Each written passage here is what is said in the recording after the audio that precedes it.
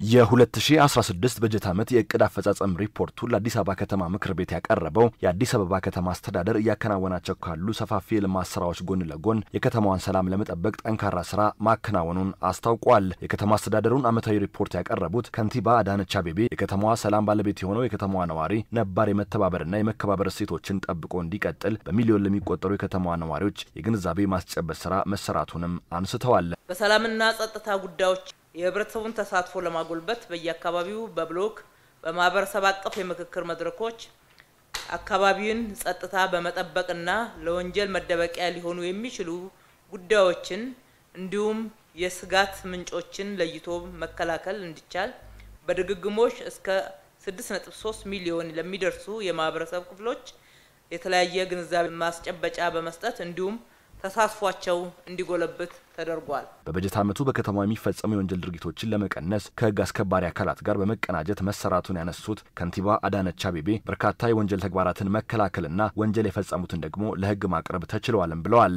ህገወጥ ገንዘብ ዝውውርና ሐሰተኛ ሰነድ መጠቀም ከከባድና ቀላል ወንጀል፣ የትምህርት ቤቶች የደህንነት ደህንነትን ከሚያውኩ ድርጊቶች፣ ከ betting ቤቶች፣ ከግጭት ከኢኮኖሚ ሻጥርና ህገወጥ ንግድ ቁጥጥር ጋር በተያያዘ ከሌሎች ህግ አስከባሪ አካላት ጋር በመቀናጀት 22251 የወንጀል ድርጊቶችን በመለየት የመከላከልና እርምጃ የመውሰድ ስራዎች ተሰርተዋል።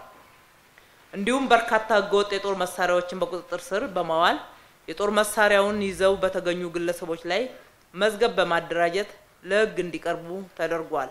በአጠቃላይ የወንጀል ምጣኔውን ከባለፈው ዓመት ጋር ስናስተያየው እየቀነሰ መምጣቱን ያሳያል። የፍትህ አገልግሎት አሰጣጡን ከማሻሻል አንጻር በፍርድ ቤት ክርክር ከተደረገባቸው የፍትሐ ብሔር ጉዳዮች አብዛኞቹን በመርታት የመንግስትንና የህዝብን መብትና ጥቅም ማስጠበቅ መቻሉንም ከንቲባዋ ገልጸዋል። በፍትሐ ብሔር ጉዳዮች በፍርድ ቤት ክርክር ከተደረገባቸው 8514 መዝገቦች ውስጥ ውሳኔ ያገኙ 5352 ሲሆኑ ከነዚህ የፍትሐ ብሔር መዝገቦች ውስጥ የአምስት ሺ አርባ አራት መዝገቦች ክርክርን በማሸነፍ የመንግስትና የህዝብ ሀብትን እና ጥቅምን ማስጠበቅ የተቻለ ሲሆን በገንዘብ ሲተመን አምስት ነጥብ ሁለት ቢሊየን ብር በላይ በአይነት ደግሞ ሁለት መቶ ሀምሳ ሰባት ቤቶችና አንድ የንግድ አስራ አምስት ኮንዶሚኒየም ቤቶች ሰባት መቶ አርባ ስድስት ሼዶች እንዲሁም አንድ ሺ አንድ መቶ ሀምሳ ሁለት ሄክታር መሬት በማስመለስ